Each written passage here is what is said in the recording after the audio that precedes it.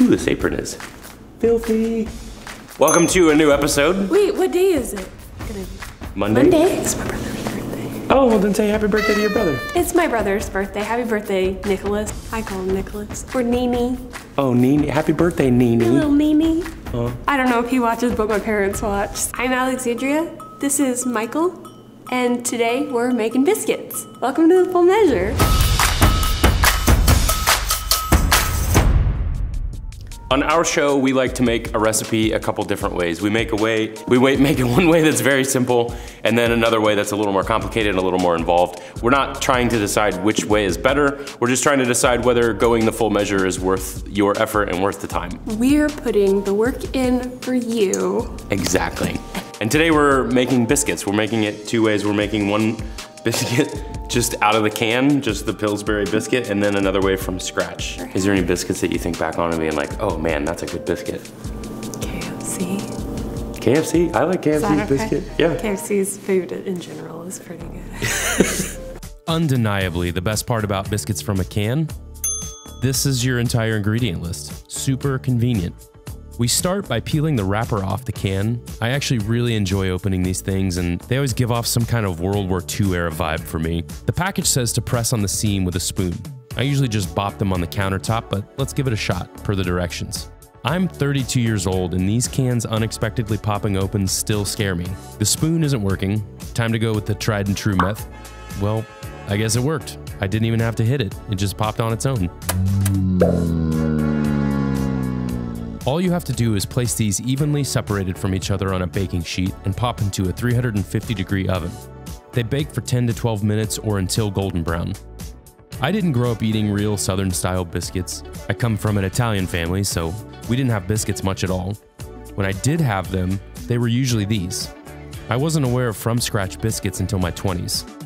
These have some nostalgia for me, and the real point of them is convenience, which they are very convenient. Right. I made you biscuits. I mean, those smell real good. Yeah. They look good. When, do you remember the last time that you had like biscuits out of the can? Out of the tube thing? Out of the tube thing? Do you ha- did you grow up eating these? I think so, yeah.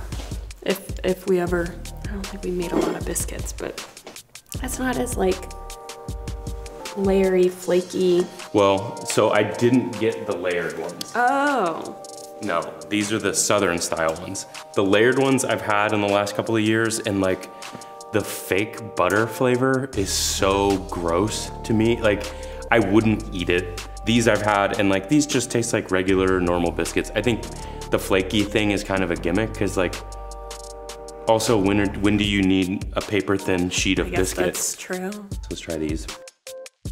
Very soft.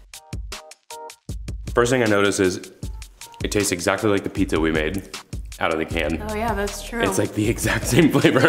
if you could like put a scale of what Pillsbury is doing, like they have prioritized texture over taste. Um. Yeah. Like the texture is great. It's super pillowy. it's, It's very, very soft. like soft and like the outside's got a little bit of a crunch to it, but the texture's a million times better than the flavor. It makes your house smell good, and they're fast. So They yeah, smelled better than they taste. I think if you're like, oh, I'm, I want to make biscuits and gravy or some sort of like breakfast Sunday morning, real fast. I, Fa- like this is anything in a can is of convenience. So like, somebody who wants really, really, really great biscuits is not gonna open the can. But we had biscuits in 10 minutes. And again, like this is not about these biscuits versus homemade biscuits. This is about, this is how easy it is to have biscuits that quickly. Yeah. And this amount of time versus the amount of time making the, the good from scratch biscuits, is it worth it? Um, so now we have a baseline for how easy it is to make biscuits at home. I'm gonna hold it in my hand. Yeah. Does that feel nice? Yeah. Let's make some biscuits from scratch. Let's do it. This is typically the part where I would show you all the ingredients nicely laid out, but I just straight up forgot to film that for this part of the video. I will list the ingredients and a link to the recipe in the description. This is also a really great time to tell you about our website, fullmeasureshow.com. It has all the recipes and information all gathered in one place. We aren't sponsored by shit. I just wanted to do that for you, to say thanks for watching our videos. A note before we begin. Biscuits are flour, milk, and butter, essentially. Because they are so simple, it's a good time to splurge on the good stuff when selecting ingredients. That especially goes for the butter. Using high quality unsalted butter to make these biscuits really makes them that much better. If you haven't treated yourself to an expensive butter before, I give you full permission to pamper yourself. Keep the butter for this recipe frozen until you start. When you prepare everything, chop it into rough cubes and keep in your freezer. You want this butter as cold as possible. Start by sifting 2 cups of all purpose flour, 2 tablespoons of baking powder, 1 tablespoon of sugar, and 1 teaspoon of kosher salt into a large bowl. Place your chilled butter into the bowl of a food processor with the sifted dry ingredients and pulse until combined and mealy. This should only take about 20 to 30 seconds of pulsing. If you don't have a food processor, you could use a fork or a pastry cutter to cut the butter into the dry ingredients. The texture of the flour and butter will be mealy and feel soft. Return this mixture to a large bowl and add one cup of whole milk. Again, quality milk really adds to the finished product.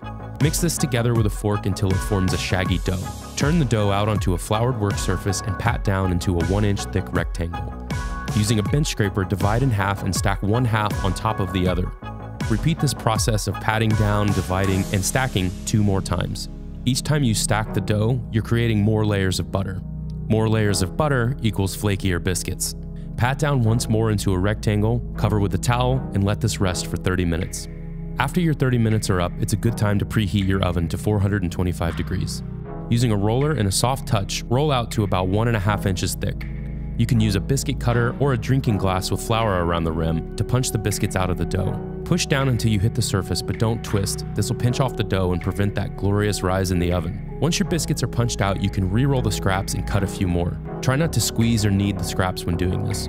Put the biscuits on a baking sheet and into your preheated oven for 10 to 15 minutes. During that time, they are going to fully come to life, like big time.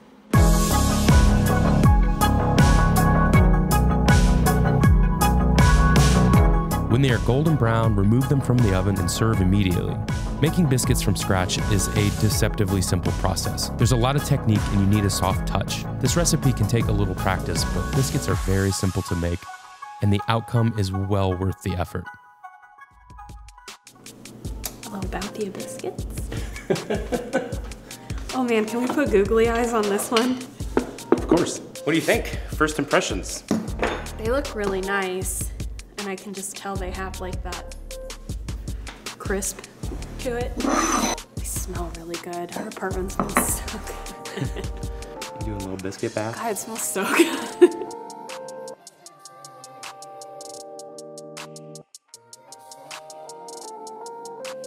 That's the winner.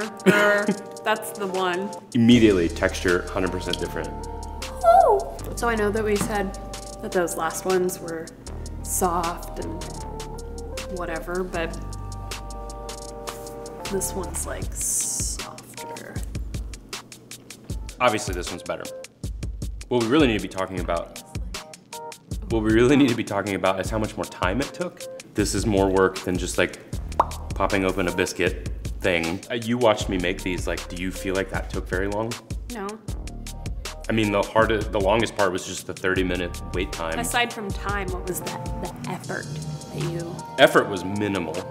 I mean, all I had to do was like use the food processor, which is like a little bit of cleanup, but like, this is how hard it was. and if I could do these that easily, like I don't make biscuits very often, and I I was a little concerned that, because I know sometimes the dough can be hard to handle because it's so soft and it can be a little sticky and you have to like be very gentle with it. But if I could do it, any, you, anybody could do this. It's so good. It's, It's- so, so good. good. These are This, just- I feel like these are so good that like this is the star of the show with breakfast. Like if you fried an egg Yeah, that sounds so and just an egg and a biscuit, like that, I, the biscuit for me, I mean, Or just the the butter and the honey was really nice and even if these were twice as much work, they'd still be worth it. That I think the takeaway is that going the full measure on biscuits and making them from scratch is like not even a full measure. But I do, it's not even that much work. I do think that that's probably something. I mean, at least for me, if someone was like, "Oh, we're gonna make our own biscuits," I'm like, "Ooh, that sounds like a lot." Is it just the misnomer that it's from scratch and like from scratch stuff is hard? Maybe, and it's just like, "Oh, it's a it's a bread thing," and so that's gonna require some technique, whatever. I think that that's maybe something that would keep me from attempting it, but seeing you make this really quickly, and I think that that um, kind of takes that away.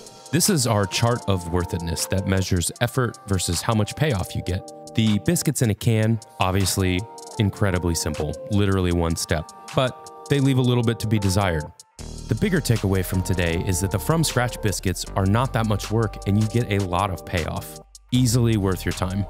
Thank you very, very much for watching these videos. Thank you for watching this video. If you have any recipes that you'd like us to try out, leave a comment below. If you wanna tell us how you make your biscuit, or actually, I think something that's really personal about biscuits is how people like them topped. I like a little bit of butter and a little bit of honey. Tell us how you like your biscuits down in the comments. Give us a little like. Click subscribe if you wanna see more of these episodes. And again, if you do have a, a, recipe that you're interested in seeing us try out and let you know if the payoff is worth it, leave it in the comments below. Thank you very much. Thanks. Can I put googly eyes on that biscuit? Of course you can. Yep, okay.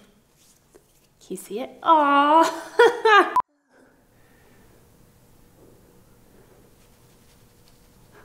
voice does he have though? Oh. Oh no. What would his voice be? Hi, my name's Michael Martin, and this is the full measure. Thank you for bringing me to life. Please don't eat me. All right.